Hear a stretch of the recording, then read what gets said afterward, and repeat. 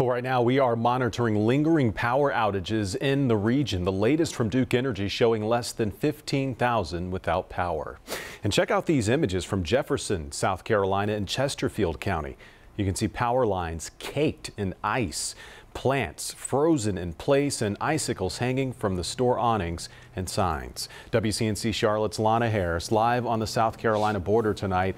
We're seeing some people there still in the dark tonight. Lana, what's being done right now to help those people? You know, crews are just working around the clock at this point. Duke Energy officials tell me that Lancaster County actually had the second highest number of outages in the state at the peak of the outages. That last check for them, uh, which was within the last hour or so, there were still around 800 customers without power. And officials are just saying how quickly it's restored to everyone really just depends on the conditions. At Belfair Farms in Lancaster County. Be calm, be calm. The horses are finally able to take a walk outside after sheltering from the ice event. Were you expecting all this snow and all these uh, outages? No. Scott Curry says the farm never lost power, but his home did. Crazy.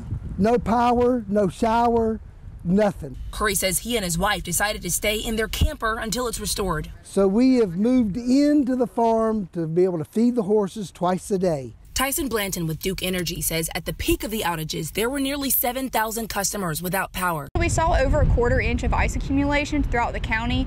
Um, that's piling up on tree branches and falling onto those power lines, and that's really causing the outages throughout the area. And Darren Player with Lancaster County Emergency Management says other power companies in the area had it worse. Lynches River by far had the most damage to their infrastructure. Normally, um, they're able to get things back up pretty quickly. This storm hit their service area really hard with a lot of trees that fell. Blanton says crews have been working around the clock to restore power. Yeah, so right now we're kind of thinking that everybody in Lancaster County is going to be back on by the end of the day. Um, obviously, that's pending no more bad conditions, especially with the wind that we're seeing that could cause more outages. Curry says he's looking forward to it. Yes, I hope it is.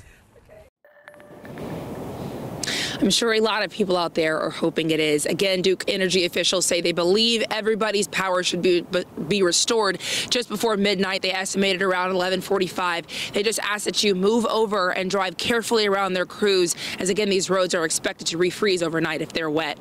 Lana Harris, WCNC Charlotte. Lana, thank you.